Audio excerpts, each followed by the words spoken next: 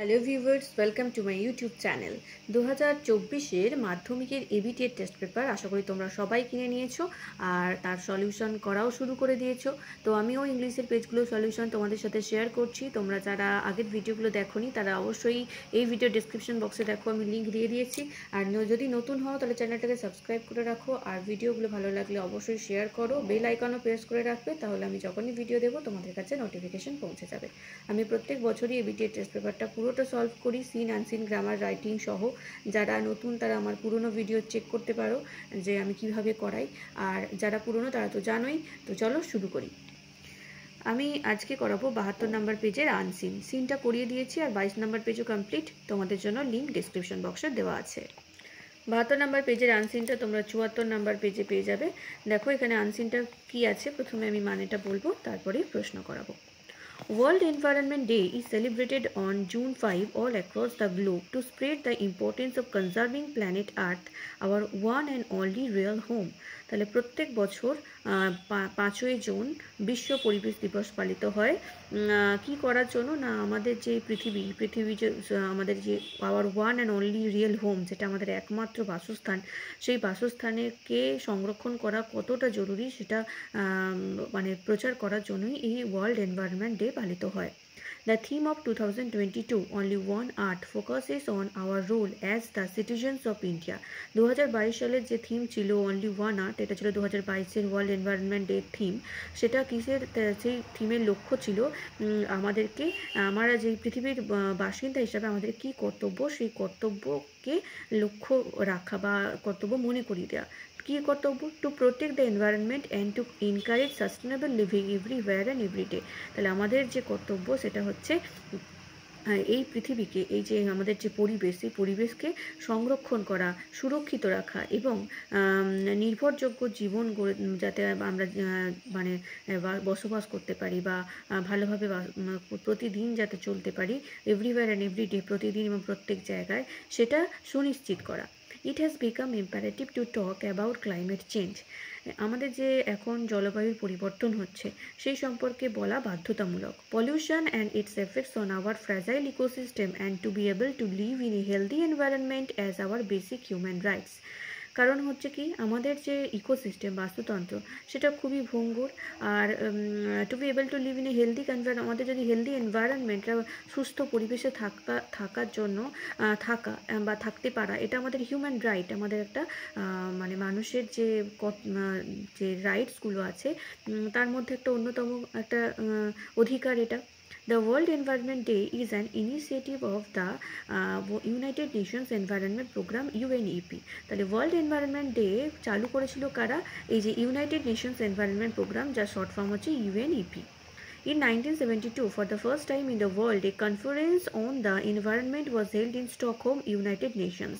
তাহলে প্রথম উনিশশো বাহাত্তর সালে স্টকহোমে যে কনফারেন্স হয়েছিল পরিবেশ নিয়ে সেই কনফারেন্সে যেটা স্টকহোম হচ্ছে ইউনাইটেড নেশনে অবস্থিত সেখানেই কিন্তু পরিবেশ সম্পর্কে প্রথম কথা বলা হয় conference on the human environment সেখানে আমরা মানুষের পরিবেশ নিয়ে কথা কথা বলি which is also known as Stockholm conference আর এই কনফারেন্স কিন্তু স্টকহোম কনফারেন্স নামেও পরিচিত This gave birth to the World Environment Day and also created the United Nations Environment Program. তাহলে এই যে কনফারেন্স হয়েছিল, এই কনফারেন্সেই প্রথম ওয়ার্ল্ড এনভায়রনমেন্ট ডে সম্পর্কে আলোচনা করা হয় এবং এরপরে কিন্তু ক্রিয়েট কি ক্রিয়েট করা হয় না ইউনাইটেড নেশনস এনভায়রনমেন্ট প্রোগ্রামের থেকেই ওয়ার্ল্ড এনভায়রনমেন্ট ডেটাকে অবজার্ভ করা শুরু হয় তাহলে এই কনফারেন্সের পর থেকে কিন্তু ওয়ার্ল্ড এনভায়রনমেন্ট ডে পালিত হয় some of the important themes from this recent years were এই যে রিসেন্ট যে বছরগুলো ছিল, গত বছরগুলোতে, সেখানে যে কিছু কিছু ইম্পর্টেন্ট যে থিম হয়েছিল, যেমন দু হাজার বাইশের থিম হচ্ছে অনলি ওয়ান আর্ট সেরকমই আরও যে বিভিন্ন থিম ছিল, সেগুলোর মধ্যে কয়েকটি অন্যতম এখানে দেওয়া হয়েছে। দেখো বিট প্লাস্টিক পলিউশন দু হাজার আঠেরো ইন্ডিয়া দু হাজার আঠেরো ইন্ডিয়ার থিম ছিল beat plastic pollution air pollution দু হাজার উনিশ চায়না চায়নাতে দু হাজার উনিশের থিম ছিল এয়ার পলিউশন সেলিব্রেট বায়োডাইভার্সিটি দু হাজার কুড়ি কলম্বিয়া জার্মানি, কলম্বিয়া, জার্মানিতে দু হাজার কুড়ির থিম ছিল celebrate biodiversity and ecosystem restoration দু হাজার একুশ। পাকিস্তান, পাকিস্তানে দু হাজার একুশের থিম ছিল ecosystem restoration The year 2022 marks the 50 year anniversary of the 1972 Stockholm Conference. 2022 হচ্ছে পঞ্চাশ বছর পূর্তি। এই উনিশশো বাহাত্তর সালে স্টকহোমে যে কনফারেন্স হয়েছিল, তার পঞ্চাশ বছর পূর্তি হলো দু হাজার বাইশে। And this year's host country is Sweden আর এই বছরটা, এই যে কনফারেন্স সেটা হোস্ট কান্ট্রি ছিল Sweden the place from where it all started সেই জায়গা যেখান থেকে এই সমস্ত কিছু শুরু হয়েছিল। Only one earth is all about living sustainably the most importantly every citizen on this earth must please to save it আমাদের কিন্তু স্থায়ীভাবে বসবাস এই একটাই জায়গা আছে আমাদের এই পৃথিবী। তাই আমরা প্রত্যেকটা নাগরিকের আমাদের কর্তব্য বা আমাদের দায়বদ্ধ থাকা উচিত যাতে করে আমরা এই পৃথিবীটাকে বাঁচিয়ে রাখতে পারি। Edited from Times of India June five দু হাজার বাইশ। দু হাজার বাইশের পাঁচই জুন এই লেখাটা টাইমস অফ ইন্ডিয়া প্রকাশিত হয় এবং সেখান থেকেই এটা তুলে দেওয়া হয়েছে তোমাদের পাঠ্য হিসাবে। আশা করি তোমরা মানেটা বুঝতে পারলে। এবারে চলে আসব প্রশ্নে। World environment day is celebrated on world environment day কবে সেলিব্রেট করা হয়? Tenth December tenth August fifth June না ফোর্থ জুন তোমরা কিন্তু যারা মানে এটা বুঝলে তারা নিজে নিজে প্রশ্নের উত্তরগুলো দেওয়ার চেষ্টা করো। আমি বলার আগেই যেন তোমরা উত্তর দিতে পারো। এইভাবেই কিন্তু বুঝবে, ঠিক আছে? অপশন সি হয়ে যাবে সঠিক উত্তর, পাঁচই June the world environment day is an initiative of us world environment day Quader initiative বা কাদের জন্য বা কার জন্য প্রথম পালিত হয় বা প্রথম যে উদ্যোগটা কাদের? United Nations organisation United Nations environment programme world health organisation নাকি ইউনেস্কো এটা হচ্ছে United Nations environment programme UNEP তাহলে অপশান বি হবে সঠিক উত্তর। তারপর দেখো for the first time in the world a conference on the environment was held in প্রথমবার এনভায়রনমেন্টের ওপর কোনো কনফারেন্স কত সালে হয়েছিল? বলো দেখি উত্তর বলো তোমরা, যারা মানে বুঝেছ তারা নিশ্চয়ই বলতে পারবে। আমি বলার আগেই তোমাদের বলতে হবে। আর দেখো মিলিয়ে যে কার কথা ঠিক, কটা ঠিক হচ্ছে, ঠিক আছে? তাহলেই বুঝব যে তোমরা বুঝেছ। উনিশশো একাত্তর, উনিশশো বাহাত্তর, উনিশশো তিয়াত্তর না উনিশশো সত্তর? বলো কী হবে?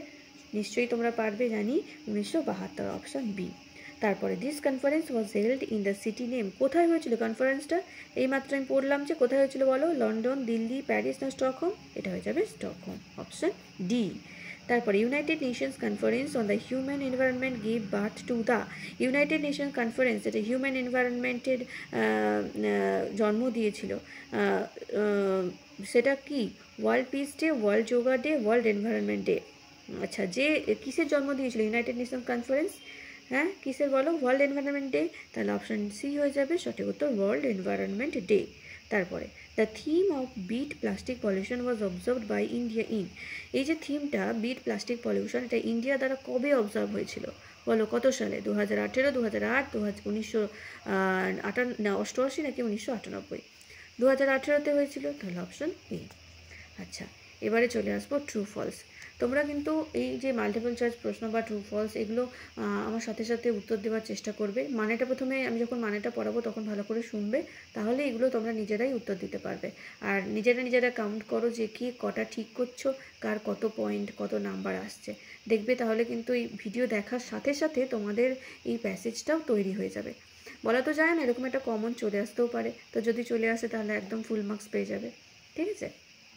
তারপরে দেখো true false the world environment day was observed after Stockholm conference world environment day observe করা হয়েছিল স্টকহোম কনফারেন্সের পরে পরেই। তাহলে এটা ট্রু হবে কারণ স্টকহোম কনফারেন্সেই প্রথম ওয়ার্ল্ড এনভায়রনমেন্ট ডে এর কথা আসে। এটা সাপোর্টিং সেন্টেন্স লিখবে এই লাইনটা। In nineteen seventy two for the first time in the world a conference on the environment was held in Stockholm United Nations conference on the human environment which is also known as the Stockholm conference These gave birth to the World Environment Day and also created the United Nations Environment Program. পরেরটা দেখো the Stockholm conference has completed twenty fifth year in two thousand twenty two Stockholm conference পঁচিশ বছর পূর্তি হলো দু হাজার বাইশ সালে। কী হবে বলো? ফলস হয়ে যাবে, কারণ পঁচিশ নয়, পঞ্চাশ বছর। সাপোর্টিং সেন্টেন্সে লিখবে the year two thousand twenty two mix the fifty year anniversary of the nineteen seventy two Stockholm conference পরেরটা the theme of the world environment day for two thousand twenty two was air pollution air pollution ছিল দু হাজার বাইশের world environment day theme কী হয়ে যাবে? False হয়ে যাবে, কারণ ওয়ার্ল্ড এনভায়রনমেন্ট ডে দু হাজার বাইশের থিম কী ছিল? অনলি ওয়ান আর্থ এই দেখো, এটা হবে উত্তর। The theme of for two thousand twenty two only one earth focuses on the on our role as the citizens of the earth তোমরা কমেন্ট করে জানাও কার কটা ঠিক হলো, কার কটা মাল্টিপল চয়েস ঠিক হয়েছে আর ট্রু ফলস কার কার ঠিক হয়েছে, ঠিক আছে? আচ্ছা এবারে চলে আসব আমরা প্রশ্নে, এখানে দেখো সি এর দাগে চারটে প্রশ্ন দেওয়া হয়েছে। তোমরা যদি মানেটা বুঝতে পারো না, এগুলো সব নিজেরা করতে পারবে। তাই আমি যখন কোনো আনসিনের মানে বোঝাবো, তখন কিন্তু খুব ভালো করে সেটা শুনো, তাহলেই কিন্তু সব পারবে। প্রথম প্রশ্ন what is the purpose of observing the world environment day all across the globe গোটা পৃথিবীতে ওয়ার্ল্ড এনভায়রনমেন্ট ডে অবজার্ভ করার উদ্দেশ্যটা কী? এর উত্তর লিখবে the purpose of observing the world environment day all across the globe is to spread the importance of conserving planet earth and encourage sustainable living তাহলে কি উদ্দেশ্য? না, আমাদের যে পৃথিবী, সেই পৃথিবীর যে পরিবেশ সেটাকে রক্ষা করা। এবং এই যে আমাদের যে রক্ষা করা উচিত, এই যে বার্তাটা, সেটা সব জায়গায় পৌঁছে দেওয়া। যাতে করে আমরা একটা নির্ভরযোগ্য জীবন, জীব লাইফ বা জীবন লিড করতে পারি। পরের প্রশ্ন what is the theme for world environment day two thousand twenty two দু হাজার বাইশ সালে ওয়ার্ল্ড এনভায়রনমেন্ট ডে থিম কী ছিল? তাহলে এর উত্তর লিখবে the theme of world environment day দু হাজার বাইশ is only one earth focusing on the role of citizens its protecting in protecting the environment and promoting sustainable living তাহলে আগেই বলেছি যে প্রথম যে দু হাজার বাইশের থিমটা ছিল অনলি ওয়ান আর্থ এটা কিসের উপর ফোকাস করছে? না, আমাদের যে এই পৃথিবীর নাগরিক হিসাবে পৃথিবীর যে পরিবেশ সেটাকে রক্ষা করা কতটা জরুরি, সেটা যাতে প্রমোট করা যায়। পরেরটা দেখো write some of the important themes of world environment day from the recent year recent যে বছরগুলো, সেখানে যে ওয়ার্ল্ড এনভায়রনমেন্ট থিমের যে যে থিমগুলো ছিল গুরুত্বপূর্ণ। সেগুলো কী কী?